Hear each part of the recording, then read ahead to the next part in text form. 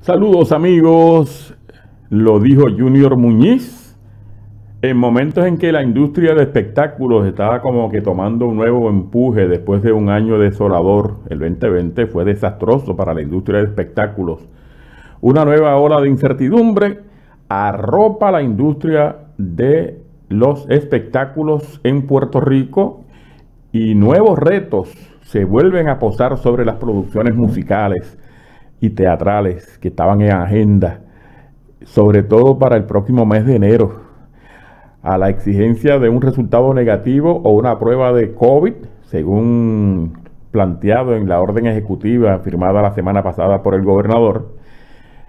Los eventos multitudinarios en espacios cerrados, además, deberán presentar o solicitar evidencia de vacunación en otra nueva orden de restricción como parte del gobierno, eh, la cual reduce un 50%, se añade reducir a un 50% el aforo para coliseos, teatros, anfiteatros y cines. La orden ejecutiva 2021-085 establece que a partir del 30 de diciembre, que eso es ya el viernes, hasta el 16 de enero del año 2022, los lugares en los que las personas se remueven las mascarillas para consumir alimentos y bebidas reducirán su aforo a un 50% si es interior y un 75% si es exterior. Esto incluye, según reza el documento, restaurantes, fast food, food court, cafeterías, barras, cafetines, chinchorros, sport bar, cines, centros comunales y de actividades, coliseos, teatros y cualquier otro lugar que sirva bebidas y comidas preparadas. La Asociación de Restaurantes de Puerto Rico pegó el grito hoy con esto del aforo a 50%. Mateo Sidre, presidente electo, dice que una vez más se toma una decisión contra la industria de restaurantes sin sentarse a la mesa con ellos. Definitivamente no estamos de acuerdo, dijo Mateo Sidre, presidente de Azores, que es la Asociación de Restaurantes de Puerto Rico. Advirtió que esta decisión de Pierluisi representará una reducción de 50% en la jornada a los empleados del sector. Oiga, y está en pie.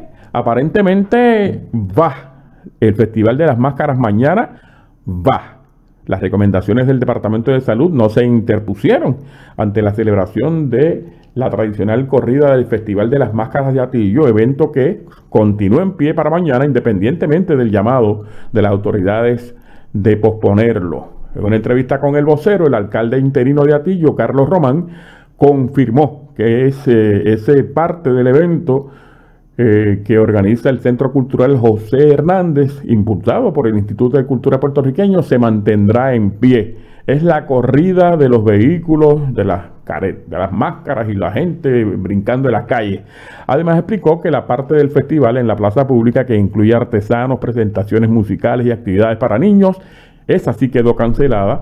Se determinó junto a ellos cancelar esas actividades que son las que provocan mayor cantidad de aglomeración en el centro urbano, dijo el alcalde, lo que es la corrida, que es el recorrido de las comparsas por los barrios de Atillo, eso seguirá en pie porque es al aire libre, dijo el alcalde. Otra actividad que lamentablemente se cancela por segundo año consecutivo, señoras y señores, es la entrega de regalos de los tres santos reyes el día 6 de enero, por segundo año consecutivo, la tradicional fiesta de reyes de la fortaleza, donde se entregan miles de juguetes a miles de niños, queda cancelado aquí en Puerto Rico como medida cautelar ante el avance de la variante Omicron y el exponencial aumento de casos positivos de COVID. La cancelación de la fiesta de Reyes fue una de las primeras acciones que tomó eh, Pierluisi, como ustedes recordarán, el año pasado, aún sin haber sido juramentado como gobernador, ya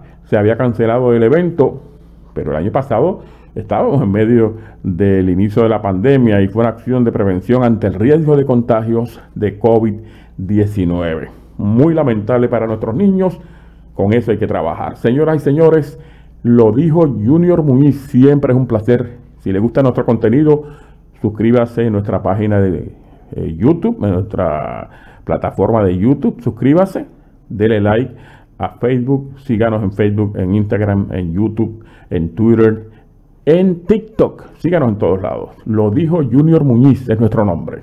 Con el auspicio de Café Bakery en Yauco 787-856-8289. El desvío número uno detrás del Yauco Stadium en Yauco 856-2215. M&M Autoservice en Yauco 787-267-3136. El desvío número 2, carretera 116 en Lajas, 787-827-8422. Gemelos Autopart en Cuatro Calles Yauco, 787-913-0000.